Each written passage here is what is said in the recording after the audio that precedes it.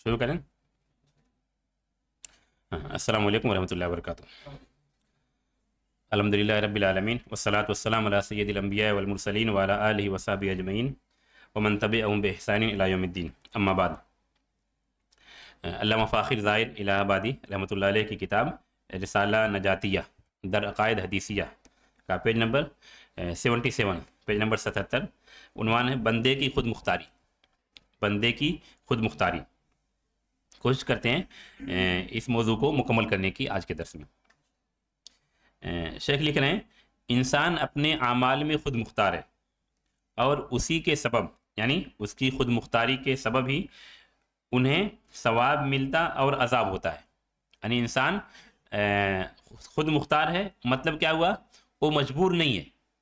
वो मजबूर नहीं है। खुद मुख्तार है और खुद मुख्तार है, इसीलिए उसको उस अमल के करने पर सवाब मिलता है, यानी अच्छे कामों के करने पर, नेकियों के करने पर सवाब मिलता है, और अजाब होता है, यानी रब की नाफरमानियाँ करने पर, गुनाह करने पर उसको अजाब मिलता है। क्योंकि उसने अपने इख्तियार से किया, अपनी मशीयत से किया। यही मतलब है ना? फिर आगे बता रहे हैं, नेक आमाल अल्लाह की रजामंदी, अब यहाँ से दूसरी चीज़ शुरू हो जा रही है इरादा की तकसीम के ताल्लुक से। चूँकि शेख बहुत सारी चीज़ों को जमा कर लिए हैं, और तो हम यहीं पर पहले जो पहला फ़करा या कहने पहली लाइन है इस पर थोड़ा सा रुकते हैं। शेख ने कहा, इंसान अपने अमाल में खुद मुख्तार है। खुद मुख्तार है मतलब समझ रहे सब लोग? इंसान को उसको इख्तियार है, करने ना करने का। सलाह अदा करने का उसको इख्तियार है। सलाह इख्तियार करे, ना इख्तियार करे। नमाज़ पढ़े या ना पढ़े, ये उसको इख्तियार है। कोई फोर्स नहीं कर रहा है। रोज़ा रखने का उसको इख्तियार है। चाहे तो रखे, चाहे तो ना रखे। हज इस्तात के बाद हज करने का उसको इख्तियार है। चाहे तो करे, चाहे तो ना करे। ज़क़़त अदा करने या नफली सदक़ात करने का उसको इख्तियार है चाहे तो करे चाहे तो ना करे। यानी तमाम अमाल पर उसको इख्तियार है। मजबूर नहीं किया गया उसको। फोर्सली उसको नहीं ए, कोई मजबूर नहीं कर रहा कि आप ये करो। करने ना करने का उसको इख्तियार है। समझ रहे ये मतलब खुद मुख्तार होने का। ये मतलब है खुद मुख्तार होने का। और इस मफहूम में कि बहुत सारी आयतें हैं जैसे वहदईना हन नजदैन जिसमें अल्लाह ने कहा वहदईना हन नजदैन। हमने उसको दोनों रास्ते, खैर के रास्ते की भी और शर के रास्ते की भी उसको हिदायत कर दी। अब उसके बाद वो मजबूर नहीं रह गया। चाहे तो खैर का रास्ता इख्तियार करे, चाहे तो शर का रास्ता इख्तियार करे। और दूसरी एक आयत, शायद सुर इंसान या दहर की होगी, इन्ना हदईना सबील। इम्मा शाकिर व इम्मा कफूरा। क्या मतलब है? हमने उसको रास्ते की रहनुमाई कर दी। रास्ता हमने उसको बतला दिया। अब उसको इख्तियार है। इम्मा शाकिर व इम्मा कफूरा। या तो शुक्र गुजार बने, या तो ना शुक्रा बने। या तो ना शुक्रा बने। ये सुर इंसान, या सुर दहर की आयत नंबर तीन है। इन्ना हदैना सबील, इम्मा शाकिर व इम्मा कफूरा। मजबूर नहीं है। फोर्स नहीं किया जा रहा उसको खैर करने पर या शर करने पर। इख्तियार है। ये मफहूम है। जो शेख ने कहा, इंसान अपने अमाल में खुद मुख्तार है। और दूसरी बात जो बताया वहदैन नजदैन वो भी गालबन तीसवें पारे की हाँ तो ये दो आयतें बहुत अहम हैं कि इंसान को इख्तियार है मजबूर नहीं है ये काम करने पर इंसान मजबूर नहीं है और भी बहुत आयत कुछ आयत ज़िक्र करते हैं जैसे जिस जिन आयतों में मशीयत की बात कही गई जिन आयतों में मशीयत की बात कही गई कि इंसान को मशीयत है इख्तियार है फमन शाह फलयूमिन वमन शाह फल यकफुर जो चाहे ईमान लाए जो चाहे कुफ्र करे मजबूर नहीं किया गया ईमान लाने पर या मजबूर नहीं किया गया कुफ्र करने पर यह मशीयत है जिससे पता क्या चलता है कि इंसान खुद मुख्तार है इंसान को इख्तियार है ये करने खैर करने या ना करने का शर करने या शर को छोड़ने का ये मतलब खुद मुख्तारी का ये बात समझ में आई मुतद दलीलें ज़िक्र करते हैं, जिनमें से कुछ दलीलें आपको बताई गई। यानी खुद मुख्तार है, उसका अपोजिट क्या हुआ कि इंसान मजबूर नहीं है।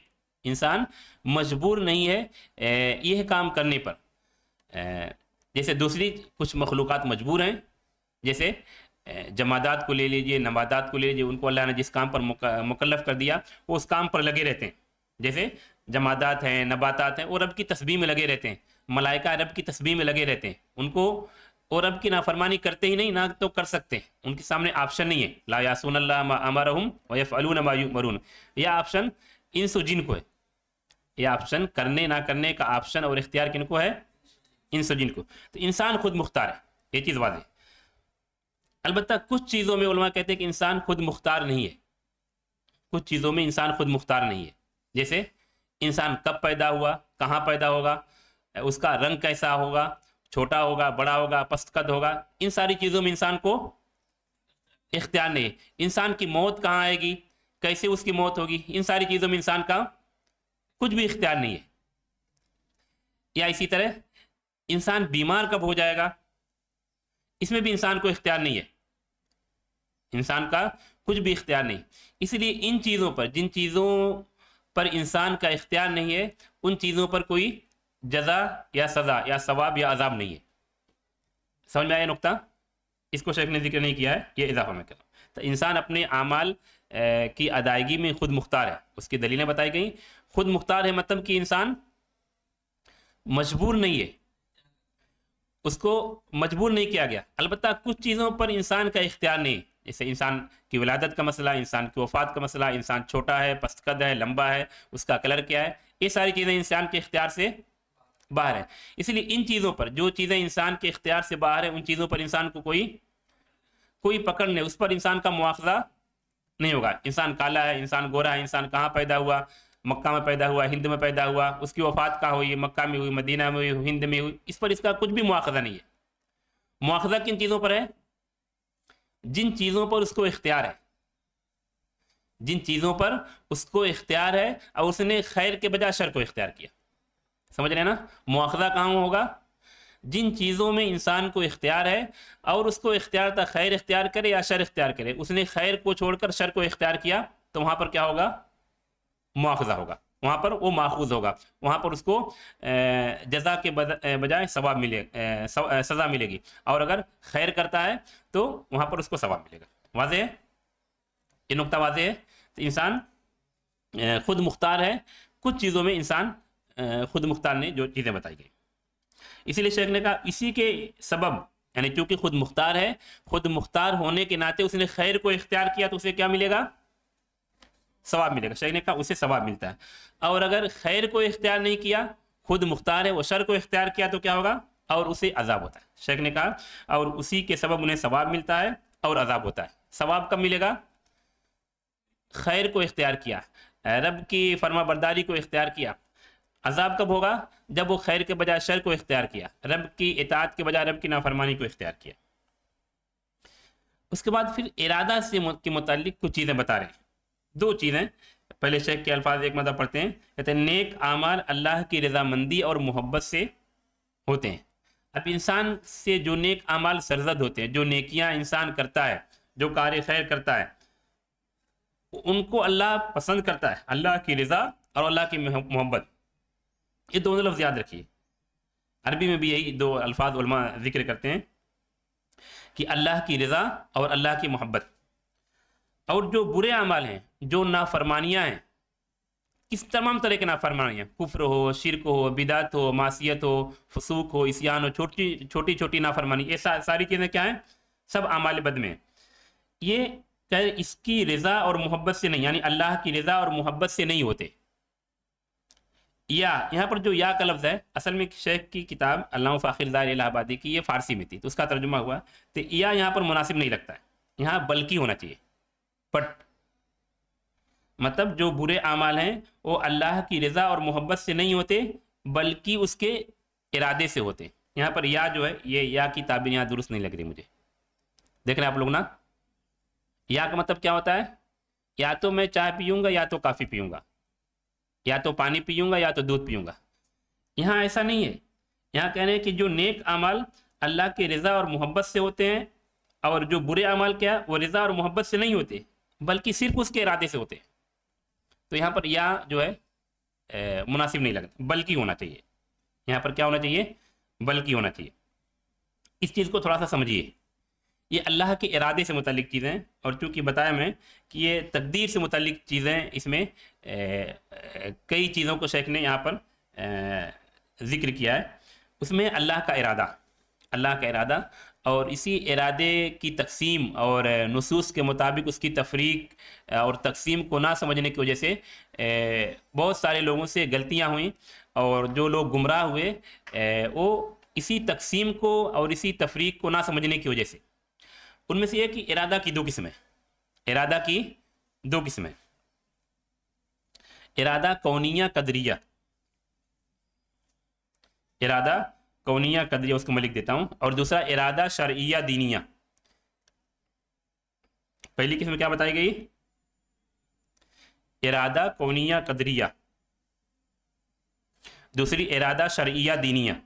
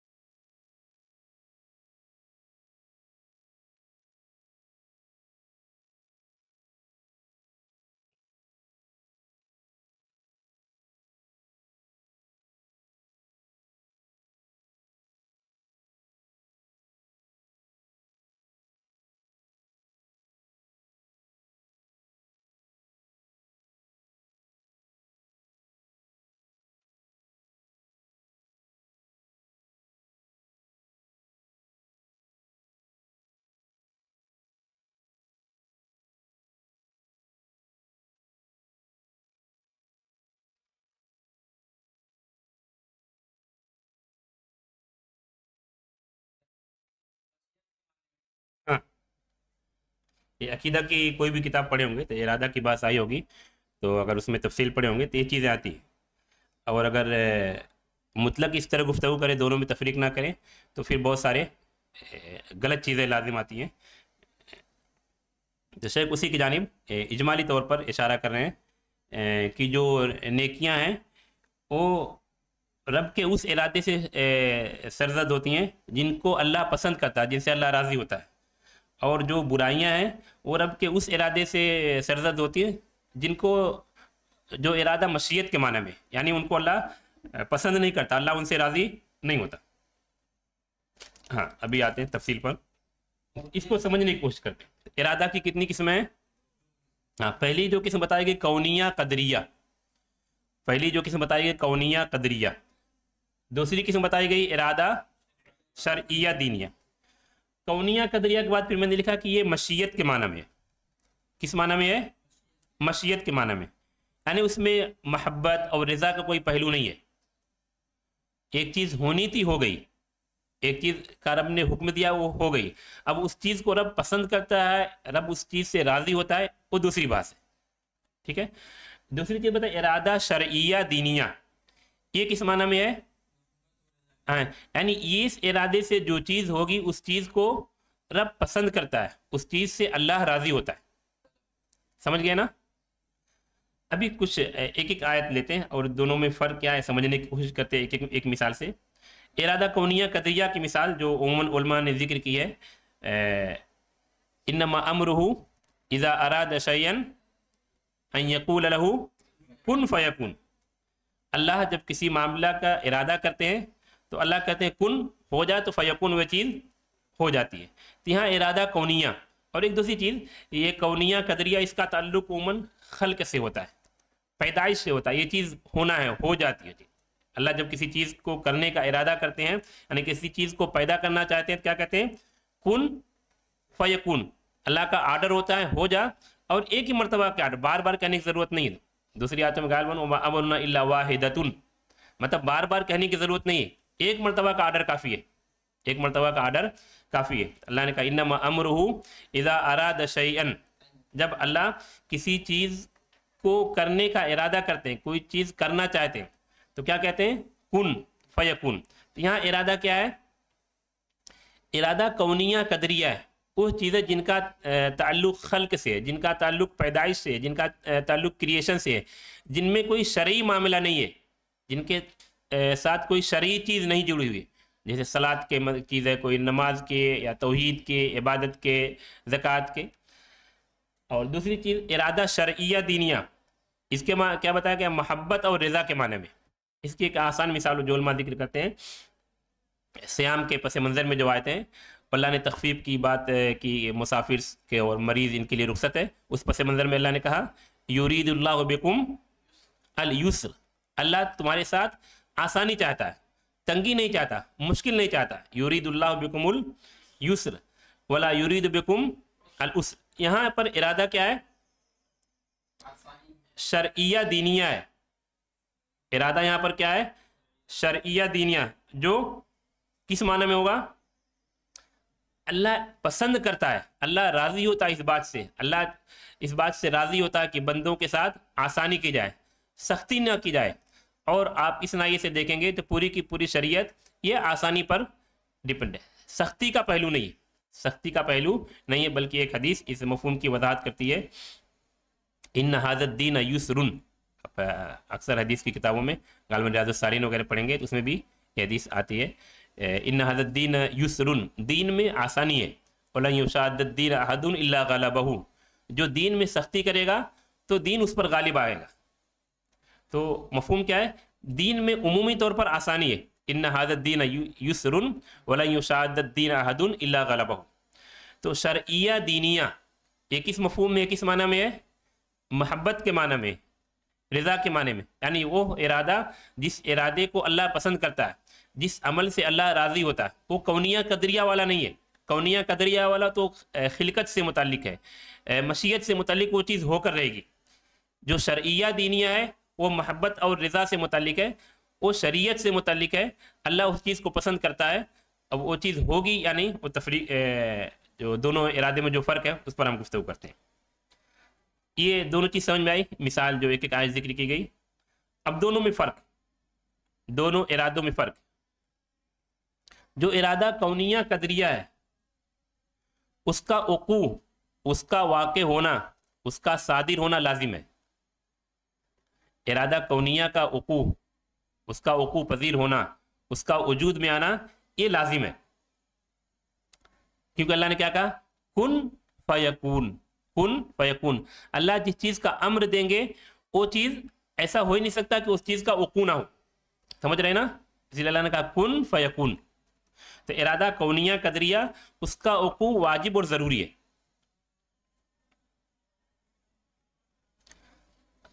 क्या शर्या में भी ऐसा है?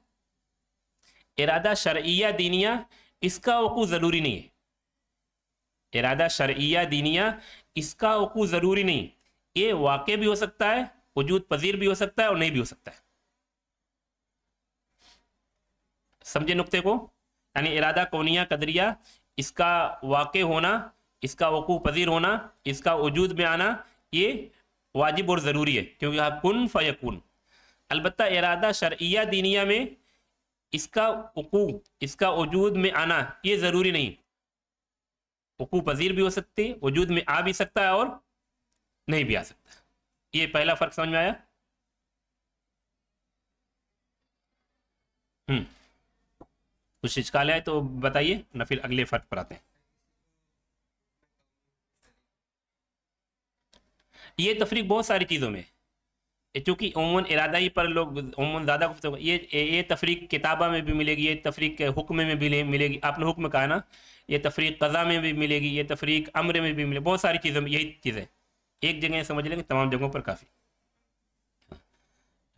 दूसरा फ़र्क, इरादा शर्या जो है, उसको अल्लाह पसंद करता है, उससे अल्लाह राज़ी होता है। जो इरादा शर्या है, उसको अल्लाह पसंद करता है। अल्लाह उससे राज़ी होता है। इसलिए वहाँ मोहब्बत और रज़ा के माने बताया गया। अलबत् जो इरादा कौनिया है, वो ज़रूरी नहीं कि अल्लाह उसको पसंद करे। बाद ऐसी चीज़ें जिनको अल्लाह पसंद करता है, बाद ऐसी चीज़ें जिनको अल्लाह पसंद नहीं करता है। तो शर्या में क्या है? शर्या ऐसी चीज़ें हैं, वो ऐसे इरादे हैं, जिनको अल्लाह पसंद करता है, जिनसे अल्लाह राज़ी होता है। कौनिया में ये चीज़ नहीं है। कुछ ऐसी चीज़ें भी हैं जिनको अल्लाह पसंद करता है, कुछ ऐसी चीज़ें भी जिनको अल्लाह पसंद नहीं करता है, लेकिन वो कुपजीर होती हैं। ये दूसरा समझ में आया? ये दूसरा नुकता आप शरिया का जो लिखा गया मोहब्बत और रजा के माने में, उससे आप समझ लेंगे। नहीं शरिया के से शुरू कीजिए। दूसरा दूसरा फ़र्क जो बताया जा रहा है ना हाँ तो पहले शरिया को आप बयान करेंगे तो कौनिया ऑटोमेटिक समझ में आ है? हाँ हाँ। और कौनिया नहीं सिर्फ़ ये नहीं कि पसंद नहीं करता। पसंद भी करता और नहीं भी करता है। मे भी हो सकता अल्लाह पसंद भी करता हो सकता नहीं भी पसंद करता। जैसे कौनिया के बारे में पहले फ़र्क में बताया गया कि उसका वाक्य होना वाजिब और ज़रूरी है। शरिया वाक्य भी हो सकता नहीं भी वाक्य हो सकता है।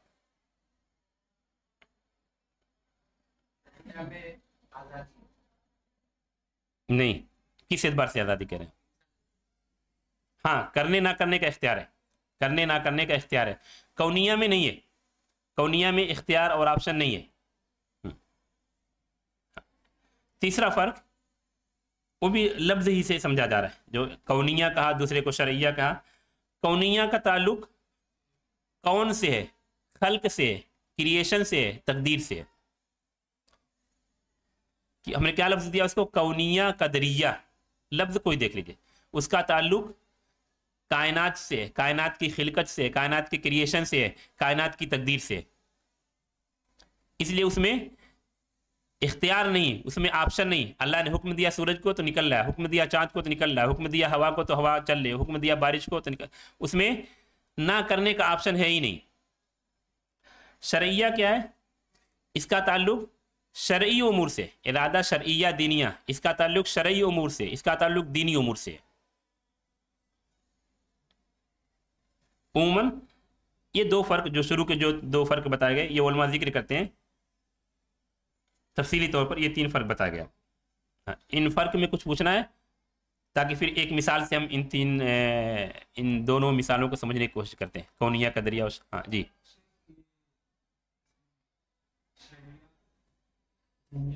हाँ हाँ।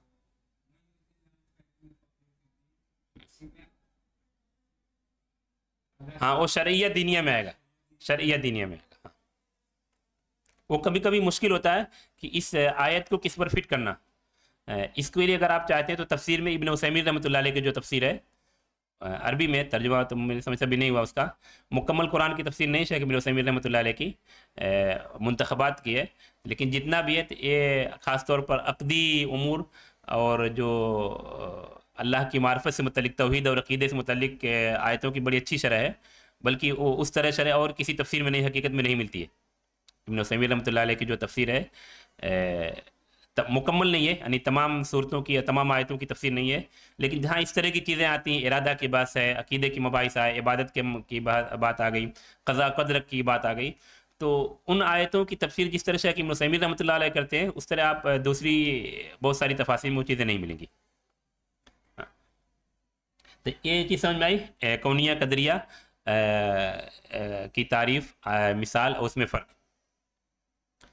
अभी ये देख एक एक एक ए, मिसाल को सबको फिट करने की कोशिश करते हैं। किस चीज़ में कौनिया कदरिया दोनों पाए जा रहे हैं? किस चीज़ में सिर्फ़ कौनिया पाई जा रही है? किस चीज़ में सिर्फ़ शरैया पाई जा रही है? इसको मैं लिखता हूँ बोर्ड पर ताकि वाजे रहे।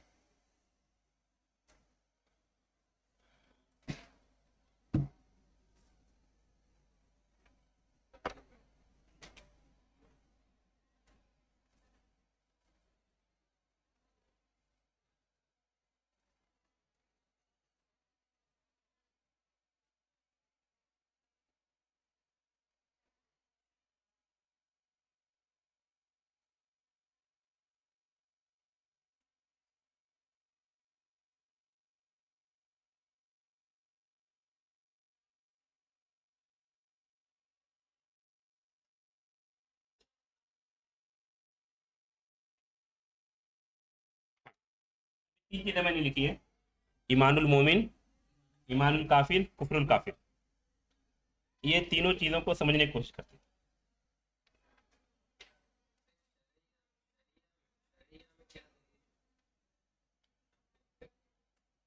हैं। इरादा शरिया दीनिया की। मैं यूरिदिल्ला इस्लाम नहीं है, वो सुर बकरा क्या यूरिदिल्ला आयत श्याम के पस मंजर में।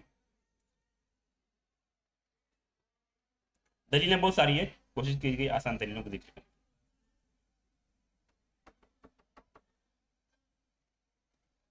हाँ ईमान मोमिन अल्लाह के इरादा कि मोमिन ईमान लाए और मोमिन ईमान ले आया ये क्या होगी कौनिया कदरिया होगी या शरिया दीनिया होगी या दोनों होगी थोड़ा गौर कीजिए मोमिन बंदे का ईमान लाना हमारा आपका ईमान लाना रसुल्ला का ईमान लाना मलाइका का ईमान लाना अबू बकर सिद्दीक का ईमान लाना आयशा और अफसा का ईमान लाना। ये क्या होगी? कौनिया कदरिया होगी या शरिया दीनिया होगी या दोनों दोनों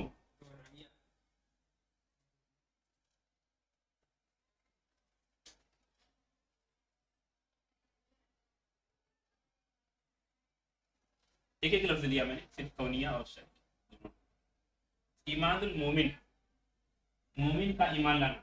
ये कौनिया भी है। कौनिया किस है? क्योंकि ये चीज़ वाकई हुई।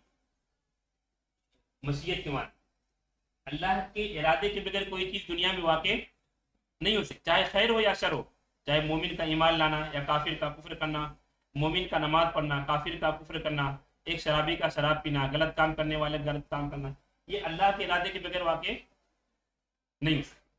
तो ये कौनिया शरिया कैसे हो रही ईमान मोमिन? क्योंकि ईमान ऐसी चीज़ है जिसको रब पसंद करता उसे रब ईमान मोमिन, हर मोमिन का ईमान लाना, रसूलुल्लाह का ईमान लाना, अबू सिद्दीक का ईमान लाना, उमर फारूक का ईमान लाना, उस्मान गनी का ईमान लाना, अली मुर्तदा का ईमान लाना, आयशा हफ्सा, फातिमा का ईमान लाना, ये क्या हो जाएगा? कौनिया और शरिया यानी दोनों हो जाए अभी ईमान काफिर काफिर भी ईमान लाता। काफिर ईमान नहीं लाए। काफिर ईमान लाएगा तो मोमिन हो जाए। काफिर का ईमान लाना, या अल्लाह का इरादा। ये क्या होगा? सोचिए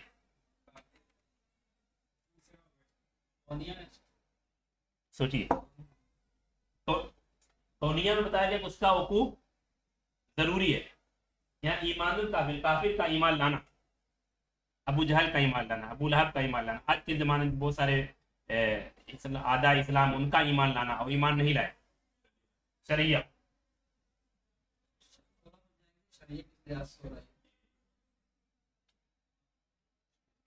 शरिया हो रहा क्यों?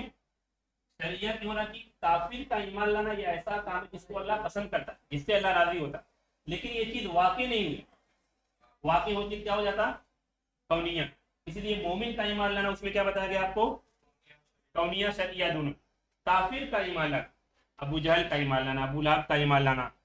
आज के ज़माने में जो आदा इस्लाम, उनके ईमान लाने, लाना। और ईमान लाए बगैर वो इंतकाल कर जाए वो क्या होगा? शर्तिया। वो इरादा शरिया है। उनके ईमान लाने के इस अमल को अल्लाह पसंद करता है लेकिन वो ईमान नहीं लाया इसलिए कौनिया कदरिया नहीं हुआ सिर्फ़ शरिया दीनिया हाँ। ईमान लाना अल्लाह ताला पसंद करता हूँ। हाँ। लेकिन ईमान न लाना वो भी अल्लाह की मशीयत में इंसान है। हाँ। हाँ, इस सवाल पर थोड़ा ये पॉइंट पूरा करने फिर उसको वो सवाल बहुत अहम उस पर लेते हैं। दो तीन सवाल आते हैं जिसमें एक सवाल ये भी आपका। ये मुकम्मल करके फिर उस सवाल वो सवाल लाजमी तौर पर आता है इसके। कुफरुल काफिर। काफिर का कुफर करना। कौन है ये कुफर कर ही रहा है।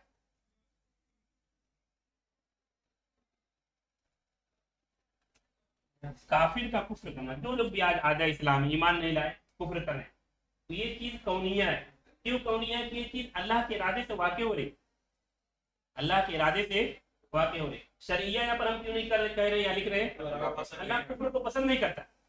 यहाँ पर हम कौनिया क्यों नहीं लिखे? काफिर का ईमान लाना। कौनिया होता तो चीज़ वाक़ कौनिया में मैंने एक चीज़ फ़र्क में एक चीज़ बताई थी कौनिया को वकू कौनिया में एक फ़र्क में एक फ़र्क बताया गया? कौनिया जिसका वकू वाजिब और ज़रूरी कंपलसरी है वो वाक़ होकर रहे। अल्लाह ने आर्डर दिया। इसलिए बताया कि जो शेख ने आज गुफ्तु शुरू की कि ये खुद मुख्तार है। आसमान की तरह, सूरज की तरह, चाँद की तरह, जमादात की तरह नबातात की तरह इंसान मजबूर नहीं सूरज मजबूर है निकलने पर, चाँद मजबूर है निकलने पर, हवा मजबूर है चलने पर, बारिश मजबूर है निकलने क्योंकि वो कौनी निज़ाम है। वो कौनी निज़ाम मुसीबत खत्म होगा या खत्म हो जाएगा, निज़ाम तो वो बाला हो जाएगा, जब क्या मत आएगी जसमाउन शक्कत जसमाउन फतरत।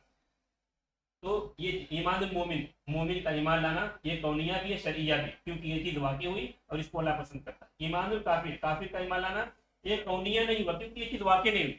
शरिया है, क्यों शरिया है? क्योंकि अल्लाह पसंद करता कुफरुल काफिर काफिर का कुफर करना ये कौनिया है, शरिया क्यों नहीं है? अल्लाह कुफर को पसंद नहीं करता। बोला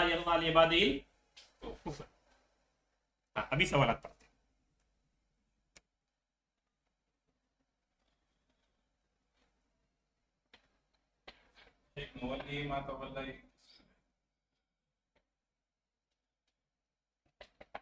जिस चीज़ को आयत का तर्जुमा है वो? नहीं, वहाँ इरादा है नहीं। इरादा नहीं इस आयत का वो जो टुकड़ा है।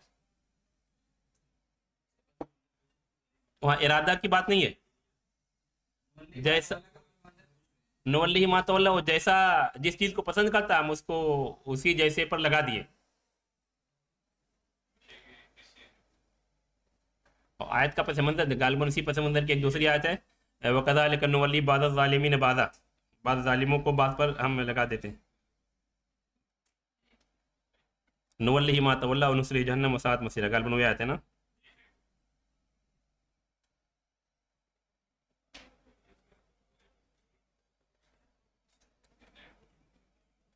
ये रसूल की मुखालफत करने वाले, जो रसूल की मुखालफत करते हैं हिदायत वाज होने के बाद और मोमिन के रास्ते के अलावा दूसरा रास्ता इख्तियार करते हैं। कहा नवल ही मातवल्ला। जिस रास्ते पर हो गए, उसी रास्ते पर हम लगा देते हैं। और जो दूसरा बड़ा, बड़ी सज़ा बताई जा रही है, वनसल ही जहन्नम वसात मसीला। अलबत्त एक चीज़ चूँकि हम मनहज के अतबार से या कुरान हदीस को फॉलो करने के बाद से, जब जब इस तरह की मोमिन की बात आती है या खैर उम्मत की बात आती है तो सबसे पहले कौन मुराद होते हैं? हाँ जहाँ उमूमी मुसलमानों के जमात को पकड़ने की बात कही गई है, उनमें सबसे अहम, सबसे अफजल जो खैर उम्मत थे, जो सबसे अफजल थे, उन, यानी सहाब कराम के रास्ते को अपनाने की बात भी की गई साथ में वयत तबी गैर सबीलमिन इस नुकते को बहुत से लोग फरामोश कर जाते हैं। मोमिन के रास्ते, यानी हमारा और आपका रास्ता, इख्तियार करें और साहबा कराम के रास्ते को छोड़ दे। जो चौदह सौ चौवालीस में, चौदह सौ बीस में, तेरह सौ बीस में, बारह सौ में, ग्यारह सदी में दसवीं सदी में जो मोमिन हैं, उनके रास्ते को इख्तियार करे और जो नबी की तरबियत याफ्ता मोमिन थे, उनके रास्ते को छोड़ दे। तो जहाँ जहाँ भी ईमान की बात आई, अहले ईमान की बात आई मोमिन की बात आई, वहाँ हम और आप मुराद हों या ना हो, लेकिन साहब कराम सबसे पहले मुराद होंगे। कुन तुम खैर उम्मा कहा गया तो हम और आप बाद में मुराद होंगे लेकिन साहब कराम पहले और ज़रूर मुराद होंगे, क्योंकि नज़ुल कुरान के वक्त वो खैर उम्मत मौजूद थे। और हम या क़्यामत तक आने वाले जो अहले ईमान, वो बाद में दाखिल होंगे। तो जहाँ जहाँ इस तरह की बात आई है तो ईमान की, अहले ईमान की फजीलत की, वहाँ सबसे पहले साहब कराम मुराद होंगे। हाँ हाँ जैसे सुर फातिहा के इनाम की बात आपने सिरात लजीना अनअम तालहम बल्कि मैंने बाद लोगों से कहा कि राफजी शायद इस चीज़ को अगर समझ जाए तो शायद सुर फातिहा भी ना पढ़े। इस आयत से भी अबू बकर सिद्दीक की सिद्दीक उम्मत की फजीलत साबित होती है। कैसे? सिरात लजीन अनम तलहीम से सिद्दीक उम्मत अबू बकर सिद्दीक रज़ी अल्लाह की फजीलत साबित होती कैसे? हाँ जिन लोगों पर इनाम किया गया कौन लोग हैं?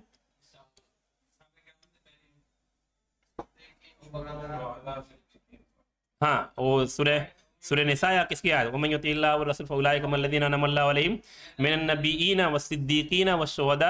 अलैहिम मिनन नबिय्यीन व सिद्दीकीन व शुहदा व सालिहीन चार तरह लोग हैं। नबीन, तमाम नबी, सिद्दीकीन। सिद्दीकीन के रास्ते पर। तो सिद्दीक सबसे बड़े सिद्दीक कौन है उम्मत के? अबू बकर सिद्दीक। यानी इन डायरेक्ट तौर पर या दूसरे लफ्ज़ों में अबू बकर सिद्दीक के रास्ते पर चलने का हम सवाल करते सूरतुल फातिहा में। ये इनडायरेक्ट मफहूम है। हम नमाज़ में सवाल करते हैं कि अल्लाह हमें अबू बकर सिद्दीक के रास्ते पर चला। अल्लाह हमें तमाम अम्बिया कराम के रास्ते पर चला, तमाम शहदा उम्मत के रास्ते पर चला। जो भी शहीद हुए, अगर मतलब रिकॉर्डिंग है, इसलिए मैं वो चीज़ नहीं बोलूँगा ऑफलाइन बता सकता हूँ। बाद में उस पर गुफ्तु करेंगे। अभी जो आपका दूसरा सवाल था क्या नाम है? ईमान, ईमानुल काफिर उसमें। तो ये एक सवाल आता है इस तरह की चीज़ों में कि क्या हम अल्लाह जब कह कुफरुल काफिर या ईमानुल काफिर तो क्या अल्लाह की मिल्कियत में ऐसी चीज़ों का वकू होता जो अल्लाह नहीं चाहता? ये सवाल उस इस तफरीक को ना समझने पर डिपेंड करता है। अगर आप इस तफरीक को समझते हैं, कौनिया, कदरिया, शरिया, दिनिया तो हम कहते हैं हाँ ऐसी चीज़ों का वकू होता है रब के मश रब की कायनात में, रब की मखलूक़ात में, जिन चीज़ों को अल्लाह पसंद नहीं करता है। लेकिन रब की मशीयत से वो भी होता है। वो भी रब की मशीयत से होता है। इबलीस का ईमान ना लाना, काफिरों का कुफ्र करना, ये रब के इरादे से होता है, रब की मशीयत से होता है कि लेकिन रब उनको, लेकिन रब उनको नहीं, पसंद नहीं करता, रब उनसे राज़ी नहीं होता। है वरना दूस- दूसरे लोग जो इस फ़र्क को नहीं समझते, वो कहते हैं कि कुफ्र की चीज़ें मासीत की चीज़, रब की नाफरमानी की चीज़ें रब के इरादे से नहीं होती। हम क्या कहते हैं? नहीं। रब के इरादे से होती है, हम इरादे की दो किस्में करते हैं। और इसलिए हम कहते हैं, वला यकुन फ़ी मुल्क इल्ला मा युरीद। रब की मिल्कियत में, रब की कायनात में उन्हीं चीज़ों का वकू पजीर होता है, जो रब, जिन चीज़ों का इरादा करता है। रब की कायनात में, रब की दुनिया में, रब की मखलूक में, रब के इरादे के बगैर कोई चीज़ वकू पजीर हो ही नहीं सकती। बड़ी से बड़ी चीज़, छोटी से छोटी चीज़, दरख्त का पत्ता, समंदर का कतरा, पहाड़ का, कोई मामूली से मामूली ज़र्रा, या सहरा का मामूली से मामूली ज़र्रे की हरकत भी रब के इरादे के बगैर नहीं हो सकती। अब यहाँ पर हम तफरीक कहते हैं, उन चीज़ों नसूस को जमा करके कि काफिर का कुफ्र करना, ये भी रब के इरादे से हो रहा है, लेकिन वो इरादा मशीयत के माने में, उस काफिर के कुफ्र के अमल को रब पसंद नहीं करता है लेकिन रब के इरादे के बगैर नहीं होता। ठीक है? तो ये तफरीक बहुत ज़रूरी है। इसीलिए हम कहते हैं, रब के कायनात में, रब के मुल्क में, रब के इरादे के बगैर कोई चीज़ नहीं होती। और रब इस ए, ए, की जलाल रब की अजमत रब की जलाल इस बात से पाक है कि अल्लाह की मिल्कियत में कोई ऐसी चीज़ हो जि- जिसमें रब का इरादा ना हो। अगर आप कहते हैं ऐसा कि क्या कुफ्र रब के इरादे के बगैर हो रहा है? नौजबिल्ला नहीं। हम कहते हैं कुफ्र भी जो हो रहा है जो मासीत हो रही है जो नाफरमानी वो भी रब के इरादे से हो रही है। लेकिन वो कैसा इरादा है? मशीयत के माने उस इरादे को रब पसंद नहीं करता है। लेकिन जो जितनी चीज़ें जो चीज़ भी हो रही है कतरे की हरकत जर्रे की हरकत दरख्त की हरकत मामूली से मामूली छोटी से छोटी बड़ी से बड़ी हरकत वो सारी की चाहे चाहे खैर हो या शर ईमान हो या कुफ्र वो रब के इरादे से हो रही है। फिर हम तफरीक करेंगे। अच्छी चीज़ें इरादे शरिया दीनिया हैं और जो शर हैं वो सिर्फ़ कौनिया कदरिया हैं। हाँ। हम्म, हम्म। बता दिया उसके पसंदीदा चीज़ें। इख्तियार है। इख्तियार है हाँ। इसीलिए जो शेख की जो गुफ्तु थी वहीं से शुरू हुई थी। इंसान मुख्तार है। इंसान को इख्तियार है और फिर उस चीज़ को बताया गया आपको कि वो इख्तियार कैसा है। अक्सर चीज़ों में इख्तियार है। कुछ चीज़ों में इंसान के इख्तियार नहीं और जिन चीज़ों पर इंसान को इख्तियार नहीं, उन चीज़ों पर इंसान का मुआवजा भी नहीं। उन चीज़ों पर इंसान का मुआवजा भी नहीं हाँ। अभी कुछ चीज़ें इसमें इरादा के बारे में।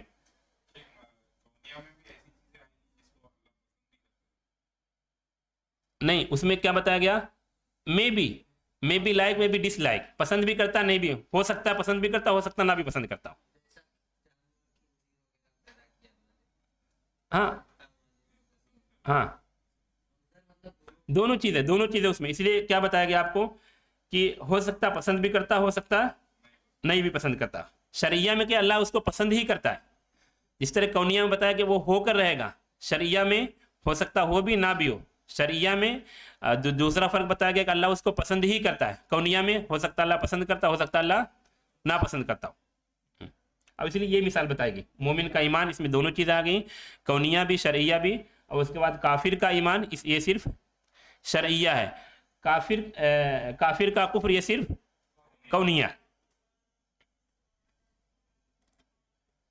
अगर इस तफरीक को नहीं समझते तो बहुत सारे इख्तलाफ और बहुत सारे गलत चीज़ें और शुभात लाजिम आती हैं, और नसूस को जमा करके सलफ़ ने जो मनहज अपनाया है उसी चीज़ों में सलामती और नजात है।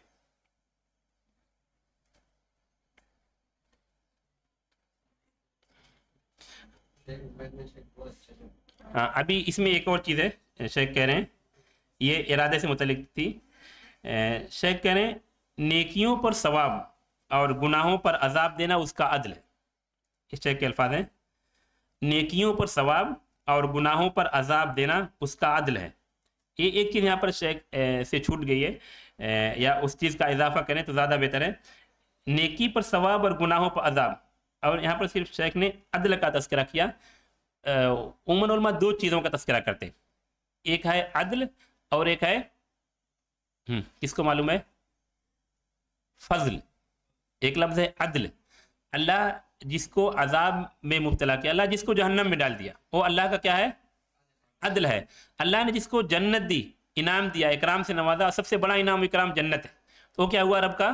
फजल है। तो ये हमेशा ये इन दो चीज़ों को जमा करना चाहिए, रब का फजल और रब का अदल। अल्लाह ने जिसको जन्नत में डाला तो ये रब का फजल है फजल है। फजल करम है, जो एक हदीस में आप सुने होंगे, जिसमें अल्लाह ने कहा लैद खुला अहदुम मिनकुम अल जन्नत अब अमल ही जन्नत में कोई अपने अमल के एवज, अमल के बदले, अमल पर डिपेंड होकर नहीं जा सकता। साहब करा ने पूछा, वला अंत या रसूल अल्लाह के रसूल, आप भी नहीं? आपने कहा, वला अना, इल्ला तगम मदन मिनु बिरहमतिन। अल्लाह मुझे अपने रहमो करम से ढांप ले। तो उलमा क्या कहते हैं? ये फजल और अदल, जन्नत का दाखिला, इनाम इकराम का हसूल, ये रब के फजल पर डिपेंड है। और जहन्नम में अल्लाह ने जिसको डाला ये अल्लाह ने उस पर जुल्म नहीं किया क्योंकि यहाँ पर एक क्या लफ्ज़ इस्तेमाल किया? अदल। अदल का अपोजिट क्या है? अल्लाह ने जिस पर अ, क्या कहते हैं जिसको जहन्नम में डाला जिसको अजाब में मुबतला अजाब किया अल्लाह ने उस पर जुल्म नहीं किया। ये अल्लाह ने क्या किया? अदल। इसलिए आप कुरान में गौर करेंगे जहाँ जिन कौमों पर अजाब आया अजाब का तस्करा उसके बाद ये इस मफहूम की आयतें आती हैं कि अल्लाह ने उन पर जुल्म नहीं किया। तुम्हारा अब जालिम नहीं है। इस मफहूम की आयतें आती वमा ज़लमहुमुल्लाह वलाकिन अनफुसहुम यज़लिमून वलाकिन कानू अनफुसहुम यज़लिमून या वमा रब्बुका बिज़ल्लामिल लिल अबीद इन्नल्लाह ला यज़लिमुन नास ए, अकवाम के हलाकत या उनको बर्बादी के बाद इस मफहूम की आयतें आती हैं जिसमें अल्लाह की ज़ात से जुल्म की नफ़ी की गई। क्यों? कि अल्लाह आदिल है अल्लाह जुल्म नहीं करता। अल्लाह आदिल है। अल्लाह जुल्म नहीं करता। अल्लाह ने किसी को अजाब दिया तो ये अल्लाह का अदल है। और किसी को सवाब दिया, इनाम इकराम से नवाजा जन्नत उसका ठिकाना बनाया, ये अल्लाह का फजल है। तो ये दो लफ्ज़ को यहाँ पर याद करना चाहिए। फिर कहा शेख ने, और ये इस पर किसी तरह से वाजिब नहीं। अल्लाह पर कोई चीज़ वाजिब नहीं होती। अल्लाह इल्ला है कि खुद अपने आप पर वाजिब कर ले तो उसकी मर्ज़ी। जैसे यहाँ पर कतब अला नफ्स रहमा। अपने नफ्स पर रहमत को अल्लाह ने वाजिब कर लिया। और आयत बताया था आपको आयत जो है सुरनाम की आयत नंबर बारह कतब अला नफ्स रहमा, अल्लाह ने अपने नफ्स पर रहमत को वाजिब कर लिया। और दूसरी आयत क्या थी? आयत नंबर फिफ्टी फोर सुरनाम की कतब रब्बुकुम अला नफ्स रहमा। जो आयत यहाँ ट्वेंटी एट ट्वेंटी एट नहीं है। कतब रब्बुकुम अला नफ्स रहमा। या इसी तरह जो एक हदीस जिसमें आपने कहा हक़ुल्लाह अल इबाद। हक़ुल इबाद अल्लाह। बंदों का हक अल्लाह पर यह है कि अल्लाह युअज़्ज़िब मल्ला युश्रिक बिही शैया वह कुल इबाद अल्लाह बंदों का हक अल्लाह पर तो कहते हैं, अल्लाह पर कोई चीज़ वाजिब नहीं होती, अल्लाह पर कोई चीज़ वाजिब नहीं होती, अल्लाह पर कोई वाजिब कर नहीं सकता।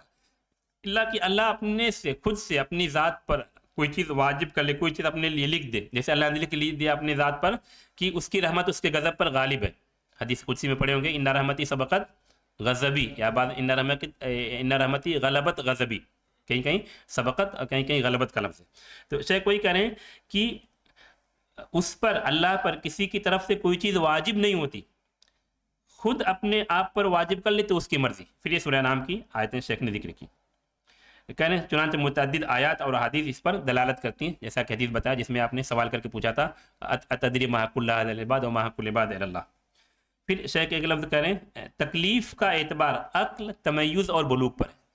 कोई चीज़ कोई इंसान मुकल्लफ कब होगा? उसके लिए ये चीज़ें बयान की गई, इंसान आकिल हो, यानी आकिल हो मतलब वो मजनून ना हो, तमीज़ हो, यानी उसके अंदर तमीज़ हो, यानी बचपना ना हो, और फिर दूसरा इस्तेमाल किया, बलूग, यानी बलूगत और की उम्र को पहुँच गया हो, छोटा ना हो। और ये चीज़ एक हदीस में बयान की गई जिसको रुफ़ी कलम वाले, जिस शायद अक्सर लोग जानते होंगे आप लोग तीन लोग जो मुकल्लफ नहीं है, तीन लोग जो मुकल्लफ नहीं है रुफ़ी कलम सलासा। हाँ उस हदीस की तकरीज कीजिए देखिए कौन बताते हैं। रुफ़ी कलम सलास। हाँ तीन लोग हैं। ये समझे जो शेख ने ज़िक्र की, उसकी दलील वही हदीस है। क्योंकि शेख की जो किताब अल्लाह फ़ाखिर इलाहाबादी की, दलाइल बहुत ज़्यादा ज़िक्र ना करके दलाइल का खुलासा है। दलाइल बहुत ज़्यादा ज़िक्र ना करके दलाइल का खुलासा है। हाँ किसको मिली हदीस? रफ़ी कलम सलास। उसमें एक सोने वाला, दूसरा एक छोटा बच्चा, दूसरा मजनून। ये लोग मुकल्लफ नहीं है। कलम इनसे उठा लिया गया। यानी जिसको कहते हैं, आसान इस में कि ये मरफूल कलम है। ये मरफूल कलम है। हम्म।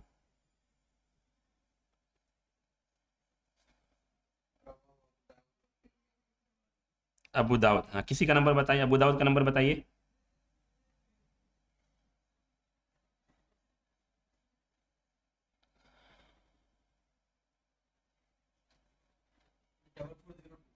अबू दाऊद का?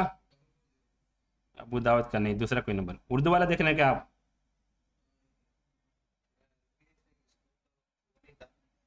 तो नंबर बताइए, बाप बताइए, किताब का नाम, बाप का नाम बताइए।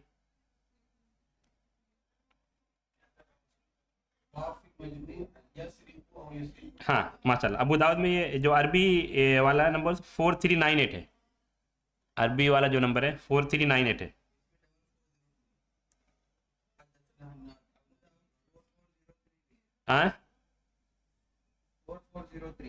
रावी हदीस कौन है? अम्मा आयशा रज़ी अल्लाह हाँ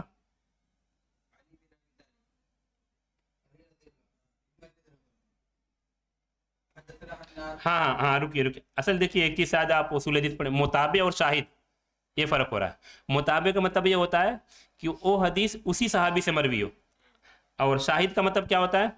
वो हदीस दूसरे सहाबी आए तो वो हदीस उसकी शाहिद हो गई। तो ये आयशा के अलावा इबन अब्बास से भी मरवी है और हज़रत अली रज़ी अल्लाह से। तो आप जो अबू दाऊद की डबल फोर ज़ीरो थ्री बता रहे हैं, अबू दाऊद में, ये अली रज़ी अल्लाह की हदीस है। बराबर बराबर। तो ये मुताबे और शाहिद का फ़र्क है। हाँ तो जो आयशा की हदीस है, वो अबू दाऊद में फोर थ्री नाइन एट है किताबुल हदूद में, इसी तरह नसई में है किताब तलाक में मुसनद अहमद में है दारमी में। है मफहम क्या हदीस का? तिरमिजी में भी है।